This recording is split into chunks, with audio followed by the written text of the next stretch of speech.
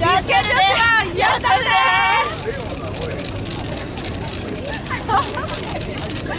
やったるでやったるでやったるでパワーでありがとうございましたありがとうございましたありがとうございましたあありがとうありがとうありがとうこのメンバーで他のメンバーも含めて戦っていきたいと思います安倍政権ずっとこの6年半人数多かったですよね国会で100人いよが200人いよが300人いようが安倍さんに何も言わないんだったらいないのと同じなんじゃないでしょうか皆さん。国会議員は国民の声を国会で発言するのが仕事です。このメンバーが仲間が国会行ったら皆さん国会は面白くなると思いませんか？私の言う面白いはいろんな国民の声を国会で運んでくれるから国会が活性化をして国民の皆さんが関心を持ち政治が良くなり生活が良くなるそういう国会にしようではありませんか。どうか立憲民主党の仲間に明日からの参議院選挙お願いをしたいと私幹事長福山からお願いを申し上げ最後は大阪の辻元さんにマイクを渡します。本当に選挙前日ありがとうございます。まあちょっと女性の皆さん前に蓮舫さんもどうぞ。蓮舫さんもどうぞ。お見えてないんだけれども実はですねみんな国政にチャレンジをいたします。明日からの予定候補者です。すでにこの大阪の自治体議員として女性議員たくさん立憲は当選させてそして一緒に活動しています。野々上愛会議員です。野村一えー、平方市会議員です。岡井住の高槻市会議員宗谷海子高槻市会議員、えー、奥野美香さん平方市会議員野田悦子さん泉佐野市会議員あ泉大津市会議員そして笹谷義美さん西区で赤配さんですが頑張っております。お辻かな子衆議院議員小杉さんは LGBT の当事者として日本で一番最初にカミングアウトした議員です私たち、まあ、立憲民主党どうぞちょっと候補者の皆様前前出ていただきましてえ男性も女性も生き生き生きられるでもやっぱりあまりにも女性議員が議会には少ないんじゃないですか皆さん。立憲民主党女性ぜひ皆さん。全員当選。そして男性も全員当選。目指しておっくんおっくんちょっとこの辺に来て。おっくんねおっくんじゃあちょっとここに入ってもらって。保育園で頑張ってますんでおっくんそれでは皆さん頑張りますのでどうぞよろしくお願いをいたします明日から頑張ります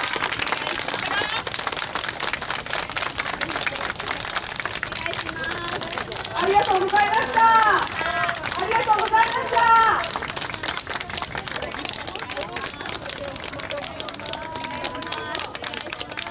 頑張りますありがとうございましたじゃあ皆さんのもと、えー、握手に伺いたいと思いますのでどうぞお声掛けの方よろしくお願いいたします立憲民主党やったるでーありがとうございました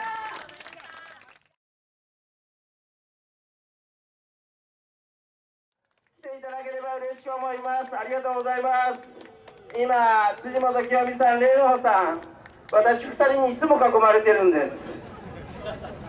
これ以上は言いません。は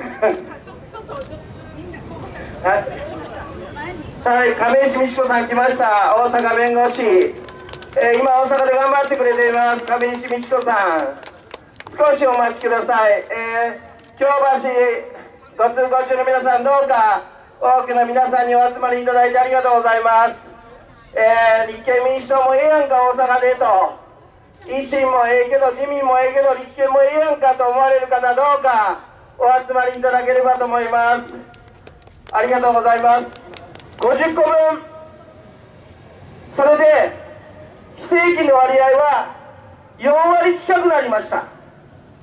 非正規で自分から選んで働いてる方もいらっしゃるかもしれないけど非正規正社員になりたいけどなれない方もたくさんいらっしゃる。300万人増えてる中の非正規雇用の中で多いのは女性とお年寄りです。みんな生活しんどくなってるから働きに出なあかんようになってる。その非正規が300万人。年収200万以下の方なんと1100万人以上今いらっしゃいます。そして2人以上で暮らしていて貯蓄のゼロの世帯なんと31%を超えて2人以上で暮らしている皆さんの3割以上が貯蓄ゼロです。皆さんこの数字は今までで一番悪い数字です。貯蓄ゼロの方31%を超えて今の非正規や今の200万以下の皆さんが1100万人いてどうやって皆さん2000万円貯めろって言うんですか？どうやって皆さんこの不安を政治が解決してくれるんですか？そしたら報告書を受け取らないというとんでもない報告書を受け取らなくて知らん顔はできるかもしれないけど国民の不安は払拭できません。受け取らないわけにはいかないんです。どうか今辻元さんが言われた生活の不安を安心に変えるための選挙にしていただきたいと大阪の皆さんにお願いをいたします。ありがとうございます。京橋ご通行中の皆さんどうか足を止めて聞いてください。今日は立憲民主党から蓮舫さん辻元さん多くの仲間が来ています。それでは明日からの選挙比例代表で立候補予定の一人一人の仲間をご紹介します。一人目今日唯一の男性かな？奥村さん奥沼正義さん。えー、保育士で史上最年少の気象予報士です。今九州本当に大雨で本当にこれから気をつけていただかなければいけないんですけれども奥村さん、えー、ラグフェアというアカペラのグループで「紅白」出場されたこともあります。しかし保育士の問題そしてこれからの災害の問題は問題あるということで立憲民主党の扉を叩いていただきました。では奥村正義さんをご紹介します。奥村さんです。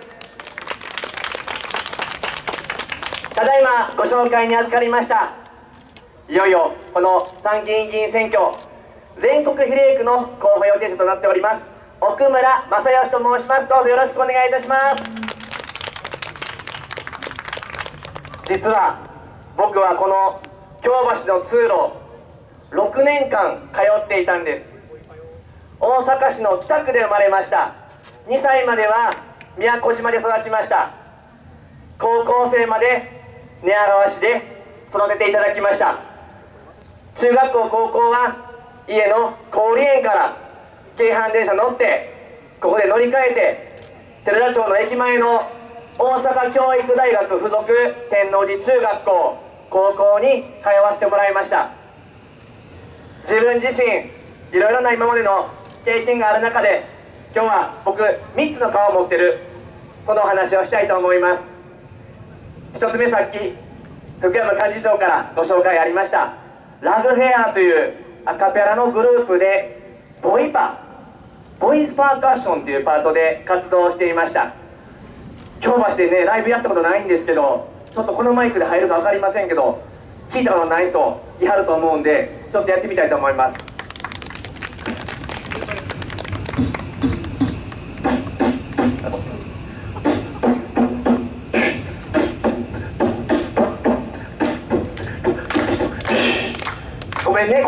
今日はね、あの 乗ってもらってありがとうございます。あのこのボイパというのの時に活動していました。2002年 NHK 紅白歌合戦出させていただきました。いろいろコラボする中でね、前川清さんのバックコーラスなんかもやって、自分らも歌って、そういうのが一つあります。で、2つ目、先ほどもありました気象予報士です。今から24年前かな、1995年、当時日本最年少で気象予報士の資格取りました。なので今まで約四半世紀いろいろな日本の天気ウォッチしてきました。たくさんの災害現場にも足を運んできました。これから温暖化の中で異常気象増えると言われています。今日もね鹿児島九州南部は大雨です、えー、この辺もですね今日のだんだん雨が強くなってきて今日夜半ぐらいにはすごく降ってきてまあ明日通勤時間ぐらいにはギリギリ止むかな。一応予報しておきますよ。あのこういうことも、えー、やってやりました。で3つ目が実は保育園の先生なんです。僕ね妹がね10個下なんですよ。でねあのちょっと脱線するんですけど妹10個下の妹福娘やってた。恵比寿さんで。そう。そうなんです。妹に拍手ね。そう妹に拍手。でこの妹とねちっちゃい頃よう面倒見てたんですよ。で大学時代にたまたまご縁があって保育園で働く機会をもらえた。アルバイトで。そのきっかけがあって僕自身アーティスト活動をしながら保育園の先生の試験挑戦したんです。7年かかりました。2012年保育士の資格取りました。そしたらねすぐ電話がかかってきたんです。知り合いの保育園の先生から。週1回でいいから手伝ってほしい。なんで週1回なんかなと思って入ったんですよ。ほんならね今保育士が本当に足りない。世の中に。保育園みんなね入りたいんですよ。なんでか。共働きせな子供育てることできひんから。その中で保育の需要どんどんどんどん高まってます。保育園もどんどん建ててるんだけれども先生がどうも足りひん。そんな中で僕のその資格を取ったっていう話を聞いてすぐに呼ばれた。で入ったんですよ。週1回最初。大変ですよ。今ね1歳2歳の子って6人をね1人で見るんです。3歳20人を1人45歳30人1人。先進国の中でもこの基準ほんまに厳しいもんです。考えてください。12人の1歳の子を2人の先生に見るんですよ。お昼ご飯大変ですよ。片っぽでコップひっくり返して片っぽでケチャップのスパゲッティバー塗り始めて。そんな中で先生方大変な思いをして保育をしてらっしゃる。そんな保育園の先生方の処遇待遇がどうもなかなか上がってこない。でねこの5月松井さん言うてはりました。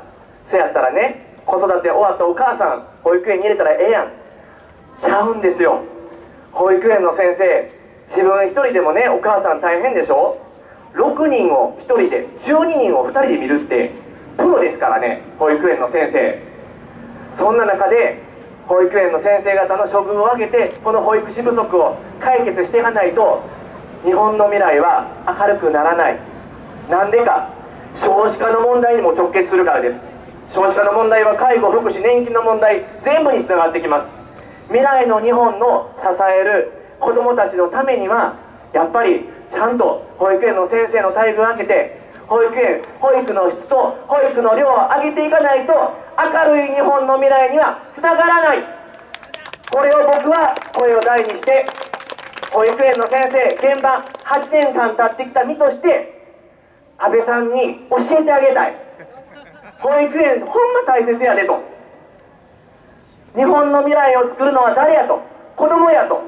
それを育ててるのはご家庭もそうなんですけど今保育園の先生が本当に頑張ってはるんです。保育園の先生の笑顔を作ら作れば子供の笑顔ができる。子供の笑顔ができればパパやママおじいちゃんおばあちゃんの笑顔も生まれる。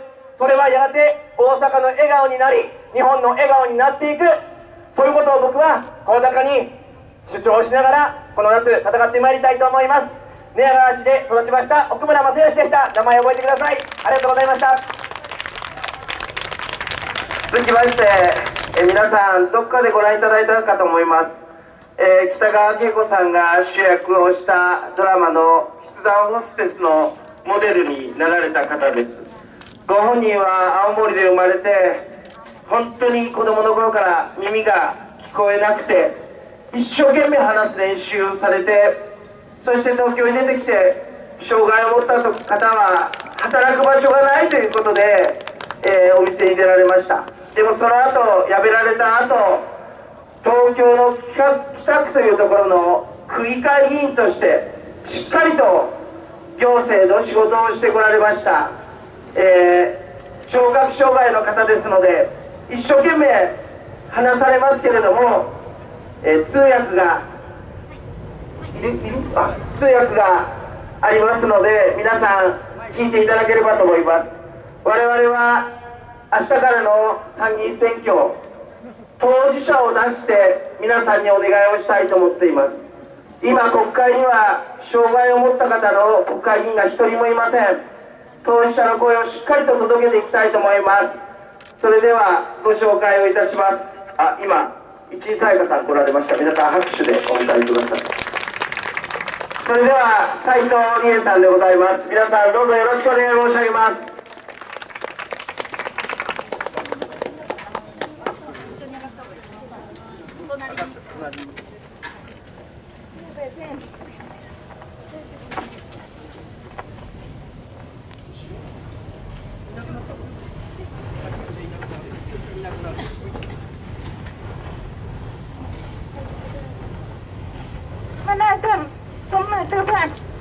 皆さんこんにちは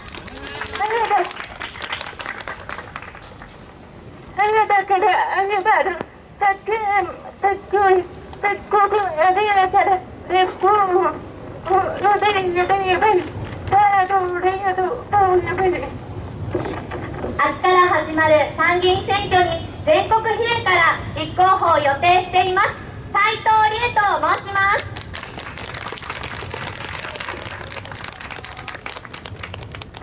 はそうかぶれそうかいかやでおれなめかかぶやなだびおけけこのいかぶがでばでか私は聴覚に障害を抱えており耳が聞こえないためお聞き苦しいかもしれませんが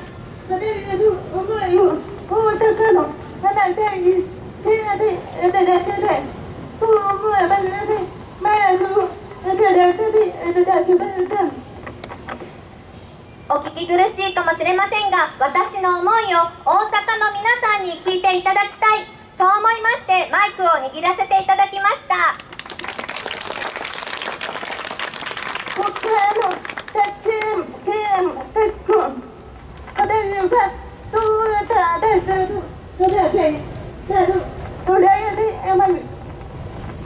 今回の参議院議員選挙私は当事者たちの大きな戦いだと捉えています。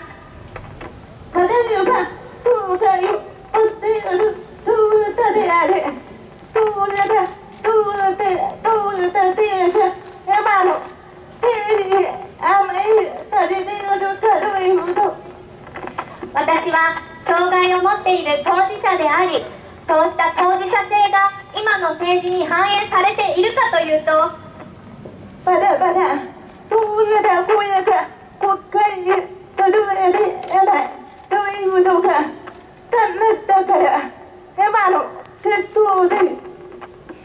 まだまだそういった声が国会に届いていないというのが残念ながら今の現状ですそれが誰が軽いのかそんな誰かの軽くてもえらいわけではありませんそれは誰が悪いのかそんな誰かの悪口を言いたいわけではありません彼が大柄もったやろやれんのかっこいいが大柄がおたいである。ことが頭のもったいである。と勝手に私はこうした問題視点の欠如には当事者が不在である。ことが一番の問題である。と感じていますこれが東海を抱えている。彼女だっても出てでもある。だからどうしたらてかだってやかそうなってそれは障害を抱えている私たちの責任でもありだから当事者たちが立ち上がり戦うことが必要なんです。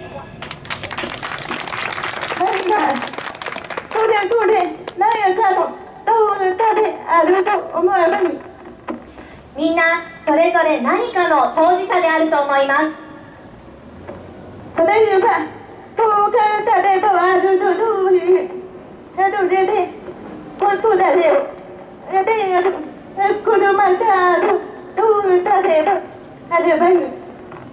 私は障害者でもあると同時に一人で子育てをするシングルマザーの当事者でもあります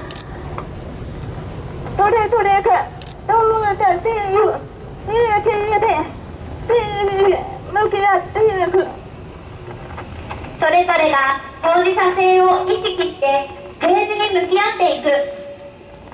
そうだと孤独への。まとめ受けがただでやだけで孤独今やでやばいそうするとこの国の民主主義は必ず開けてくると信じています。あなたのお宝をピードと課題でカードにお送りください皆さんのお力をぜひとも私斉藤理恵にお貸しください。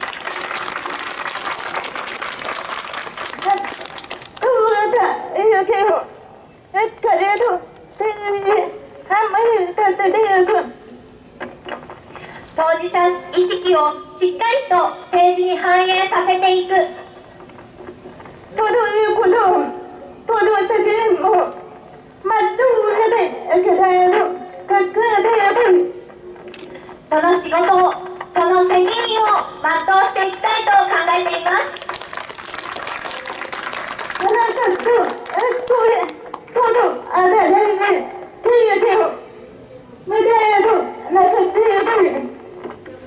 皆さんと一緒にその新しい景色を見たいと願っています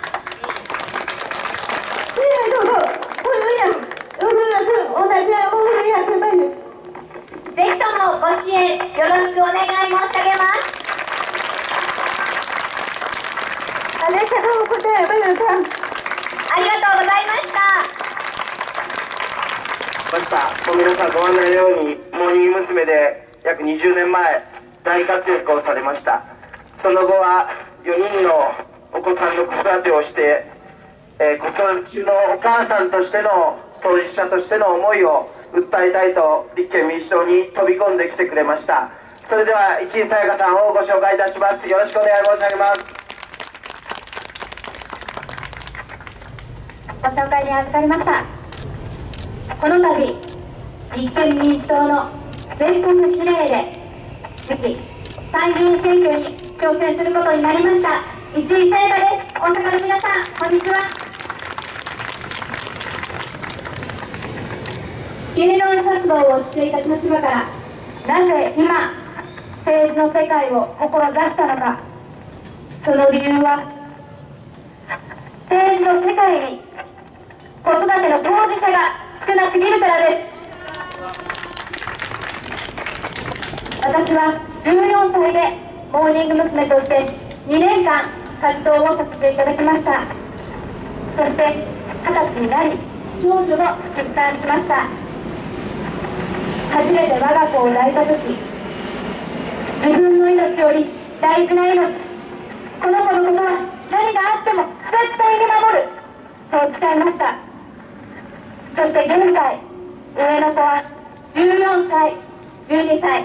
下の子は6歳2歳と4人の子供を育てているお母さんです。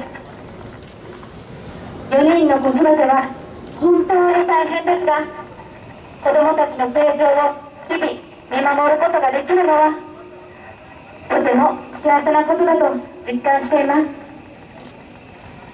ですが毎日子育てをしていく中で今の日本が本当に子育て世代に温かい社会となっているのか疑問に思うことがたくさんあります。例えば病児保育。私も何度もお世話になり利用したことがあります。子供は急な発熱体調を崩すことが本当によくあります。そんな時働かれているお母さんは前日から病児保育を血まなこになって探します。そしてようやく見つけた幼児保育先。自宅から何キロも離れたエリアだったり自転車で40分50分と行かなければならないエリアだったり子供にとっても親にとっても心身ともに疲労困憊になっているのが実情です。特に地方に行けば行くほどそれは深刻になっていると思います。そして子育てをしていく上でどんなに節約をしてもお金がかかります。どんなに節約をしても毎月のミルク代おむつ代洋服代食費数え出したらキリがありません。現在子育て世代は児童手当をいただいており感謝をしております。ですが正直その手当だけではお父さんお母さん子育て世代の家族であれば誰しもが知っています。やはり日本社会全体で子育てを支援していくためには児童手当をもっと拡張し国全体で子育てを応援していく必要があると思います。子育て世代のみならず子どもたちを毎日優しく命がけで守ってくださっている保育士さん看護師さん不足も大きな問題です。そして子供を授かろうにも授かれず不妊治療で多額のお金をかけなければならない夫婦もたくさんいます。そのような夫婦にも国全体で支援していく必要があると思います。子育てに関わる問題点改善点は挙げればきりがありません。私たちが望むようなスピードで解決しないのは一体なぜでしょうか。その理由は政治の世界に子育てをする当事者が少なすぎるからだと私は思います。私も正直迷いました。このままでいいのか。このまま何も言わずに黙っていればいいのか。ですがこのまま誰かが手を挙げてくれる。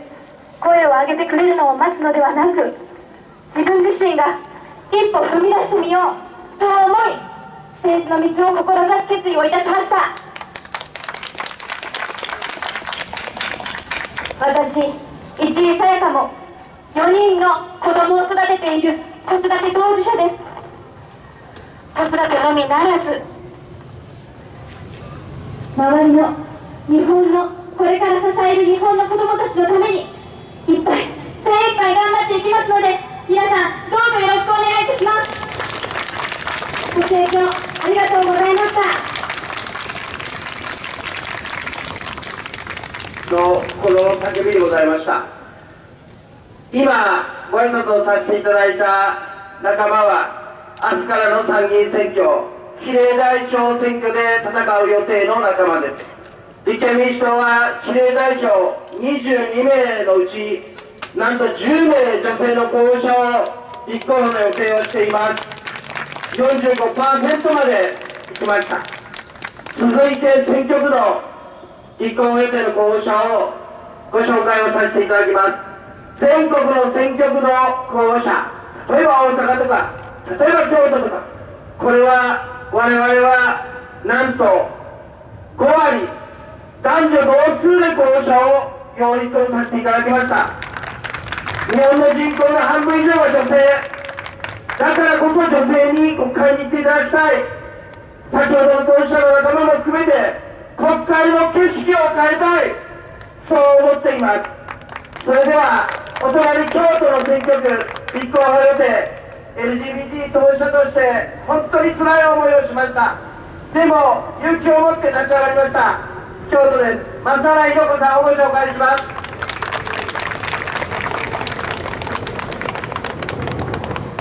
大阪の皆さんこんにちは。福山幹事長からご紹介をいただきました。私は京都お隣京都の選挙区で明日から参議院選挙に挑戦いたします。増原ひろ子増原ひろ子と申します。そして今日ここには大阪の方だけじゃなくて京都にお住まいの方京都に働いている方そして京都で学校に行っている方たくさんいると思います。そしてとっても嬉しいのがまだまだ京都から応援のために駆けつけてくださってる応援の方たくさんのお顔を見てとっても私増原ひろ子嬉しいです。ありがとうございます。マッスンというニックネームで京都では可愛がっていただいてます。そして先ほど福山幹事長からご紹介いただいたように私はこれまで8年間主に2つの社会課題の当事者として社会に対して声を上げて発信して活動してまいりました。一つは LGBT と言われる性的マイノリティの当事者です。私増原ひろ子はちっちゃい頃から女の子同性が好きなことに気がついてずっと悩んだ思春期を過ごしました。誰にも言えずに本当につらいつらい長い葛藤の思春期でした。そして今同性と同性のパートナーと一緒に生きています。でもう一つの当事者性は女性です。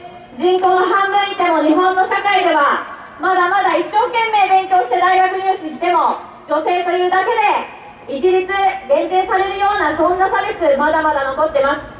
私増原ひろ子は女性としても例えば刑法性犯罪の改正だったり今回昨年と通った候補者を男女半分半分均等にしていこうというそういう法整備の動きにも永田町の院内集会に足しげく通ったりしてそういう当事者性もあの発揮してきました。そしてここ大阪市では同性のカップルに対して市がパートナーシップを認めるそういう公的書類を出す制度始まってます。これも市民が挙げた声が届いてそれを受け止めてくれる議員や行政の人がいてできたことなんです。私増原ひろ子は市民が声を上げることで社会の変化一つ一つ起こしていくことができるという確かな手応えを持ってます。でもそれと同じぐらい今の安倍政権に失望してます。女性やマイノリティの声全然聞いてくれませんでした。国会で2年間いじめや差別をなくすための法律を求めて国会議員の方に声を届けてきました。その中で福山哲郎さんとの出会いもありました。残念ながら安倍政権本当に庶民の生活とか女性とかマイノリティの生活や苦しみに関心がないということをこれ皆さんも本当に分かってて怒ってると思います。それが顕著になったのが今回の老後資金2000万円の問題。私たち立憲民主党は今回の参議院選挙暮らしの安心を取り戻すための選挙だと位置づけてます。そして持続可能な社会保障の在り方を立て直していくため年金制度を立て直していくそういうことをしっかりと訴えていきたいと思います。あの麻生さんとか安倍さんのもう顔とか発言とか見るたびに本当にうんざりしちゃってもう声を上げる力もない投票すら行きたくないという方たくさんいると思います。だけどここで諦めちゃったらもっともっと悪くなります。今私たち立憲民主党野党第一党としてこの参議院選挙本当に踏ん張りどころだと思います。私増原ひろ子もだいぶ怒ってるんですけどこの怒りをポジティブな力に変えて笑顔でしっかりと希望を語っていきたいと思います。一緒に頑張りましょう。そしてこの大阪でのご挨拶明日から始まる参議院選挙の前の最後のご挨拶で宣言したいことがあります。それはさっき福山幹事長からも今候補者立憲民主党ほぼ半分になっている。これみんなが通ってそして国会の景色変えていく。私増原ひろ子が目指しているのは内閣を半分にしていくことです。旅で内閣そういう中長期的なビジョンも目指して絶対に今回頑張ります。そして今日たくさんの素敵な女性候補と一緒に一緒にこうやってご挨拶させていただけたからこんな大胆な発言もしちゃってます。皆様一緒に頑張っていこう。いきましょう。よろしくお願いします。ありがとうございました。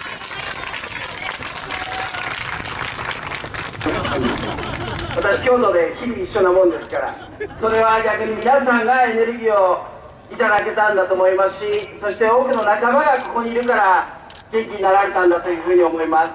そしてご当地大阪です皆さん大阪の方明日から大阪の選挙も始まりますよ。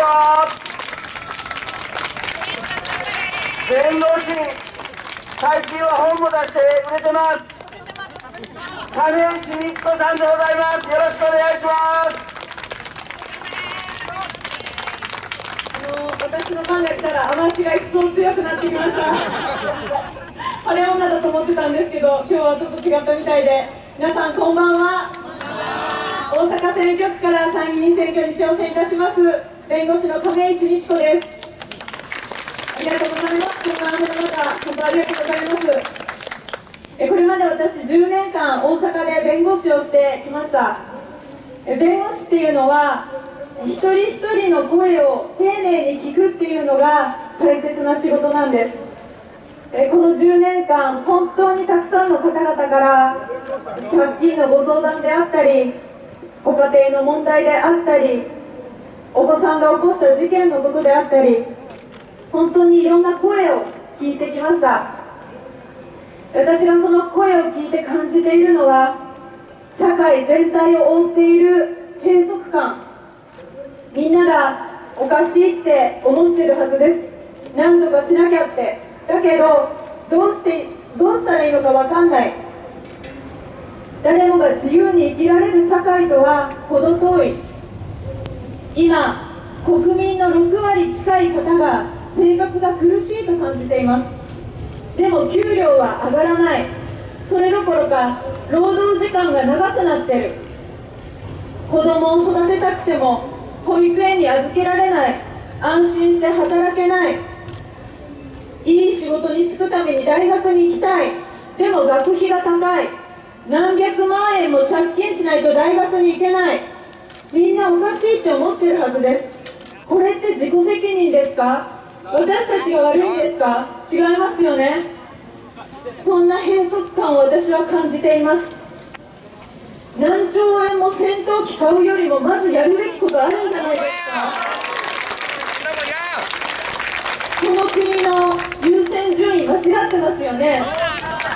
何兆円もお金あったら今言ったような問題たくさん解決できますよね。例えば待機児童の問題。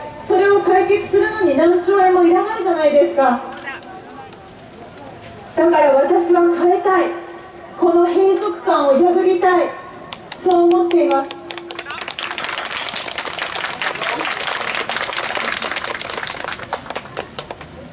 何をしたんだったっけ？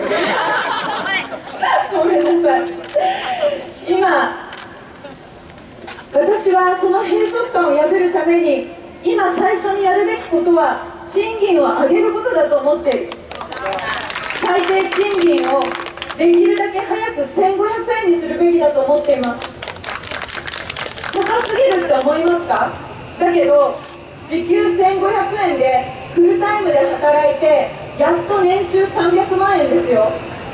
本気で働いたらそれくらいもらってもよくないですか？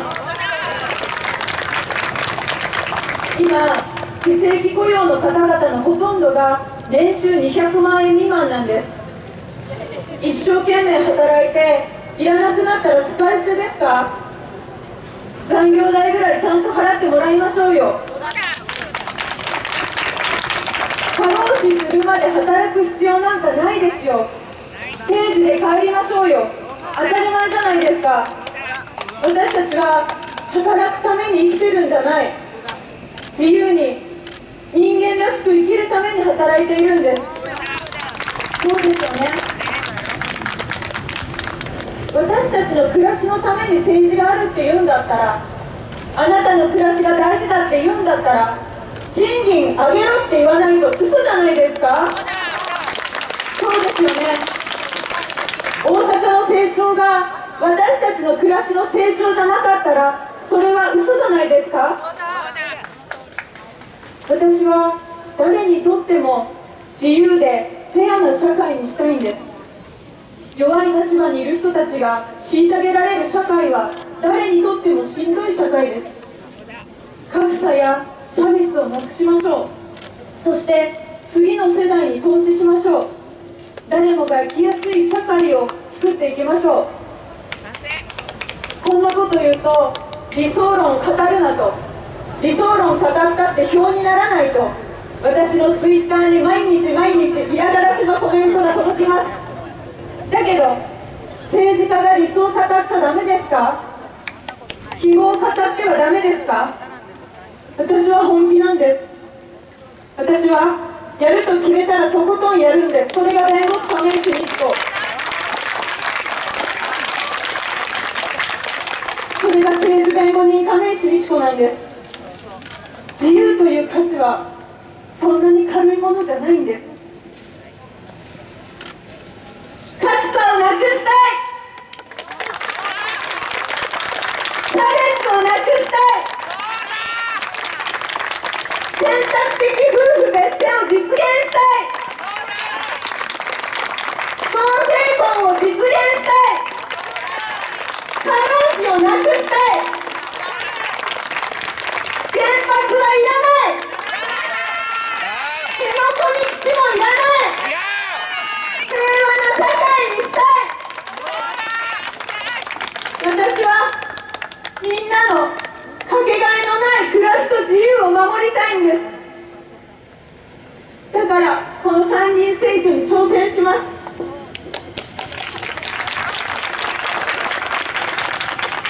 自己責任だとか仕方がないとか自分だけ儲かってるからいいとかそんな言葉で大事なものを失いたくないんです。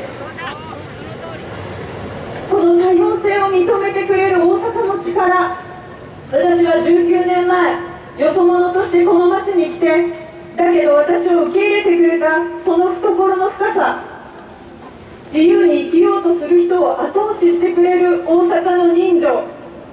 こんな町は他にないです。個性的っていう言葉が大阪では褒め言葉です。人と違ってなんぼです。そうや。ほんまや。個性的な人が個性的なままでいられる。この街を壊してほしくないんです。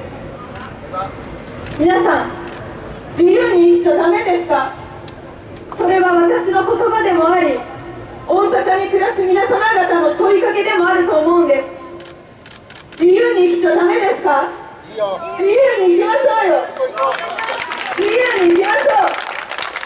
それがこの多様で豊かで誇りある大阪の力になります。本当にありがとうございました。やったるで大阪。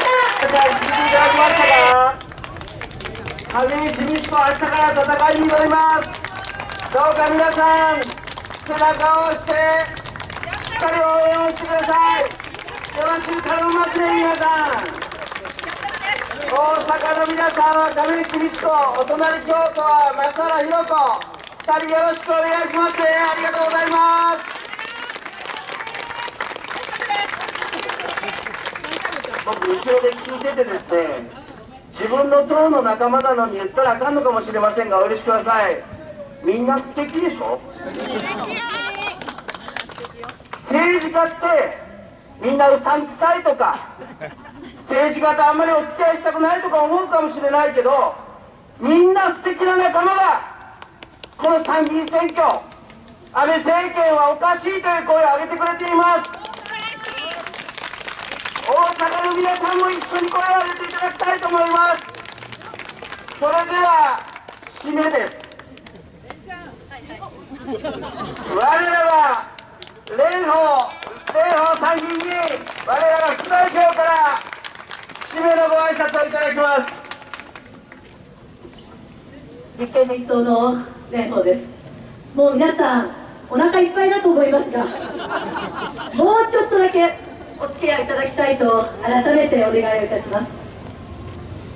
昨日私はとっても嫌なニュースを聞きました金融庁の一人の局長が60歳で退職をすることを決めましたこの局長はあの老後2000万円の審議会のワーキンググループの報告書をまとめた責任者です。なぜ辞めるの？か今国はご高齢者の雇用を継続させるために法律を作り65歳までもっと長く元気な方働きたい方には働いてもらいたい。企業に助成金も渡して長く働くことを推奨しているこれは民間でも霞が関でも全く同じです。でも彼は60で辞めるという選択。これは何か圧力があったんじゃないだろう。国会で麻生さんに向き合った時彼は全く口を開くことなくまず謝ったのはこの局長でした。私の仕事が誤解を呼んだ不安を呼んだお詫びをしてそして謝罪を申し上げる。こんな委員会から始まってなぜ麻生さんは謝らないのか。麻生さんに問うても全く答えがなかった。そしてこの人は辞め金融庁長官は引き続き任用され麻生さんは何の処分もなく続いていく。こんなことおかしいんじゃないでしょうか。1年前を思い出してください。去年は財務省の公文書改ざんでした。公文書が改ざんされてる。みんなが税金を納めている。その財務省が公文書を改ざんしてこの時は公文書の改ざんをした責任者どうなったか辞めるんじゃない。この人は国税庁長官に昇進しました。偉くなった。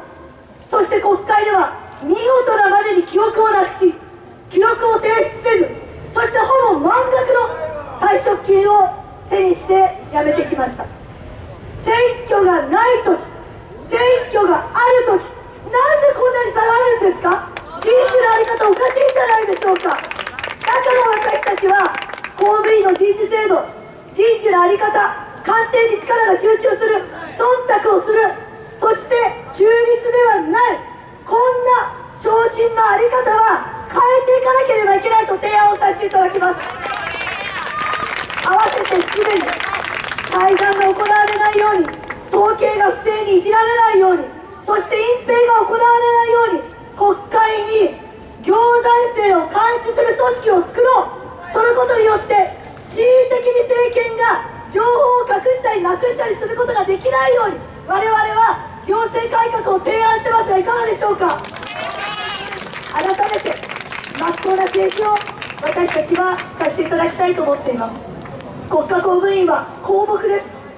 国民に奉仕をするんです。政権を見たり総理を忖度したり副総理を忖度するためにいるんじゃない。彼らにも自信を持った働き方をするのが立憲民主党の政治の真っ当な形だと改めてお伝えさせていただきます。さて今私たちはどんな時代を生きてるんでしょうか？昭和平成令和の時代になりました。令和の時代になって3ヶ月が過ぎ新しい天皇皇后両陛下のご誕生とても誇らしく祝福した気持ちのいい元号を我々は迎えたと思う。でも3ヶ月が経ちました。参議院選挙が直前になりました。どうか考えてください。どんなに元号が変わっても政治が変わらなければ政治課題は一切解決することがないとぜひこれをお伝えさせていただきたいと思います。今私たちが生きているこの時代は残念ながら明るい未来がなかなかない。少子化高齢化対策も対応もできないうちにとうとう人口減少の時代に入りました。先進国の中でも最も早く最も深刻に人口減少の時代になった。大阪も例外ではない。日本中で例外ではないのは人口が毎年減り増えていくものがある。それは何か。それは世帯数です。子供が独り立ちをすることもあるでしょう。でも全国のトレンドはそうじゃない。高齢者の単身世帯が人口減少とは真逆にどんどん増えている。これが今の私たちが抱えている大きな大きな問題です。だから老後2000万円は皆さんの怒りに皆さんの不安に皆さんの戸惑いにつながった。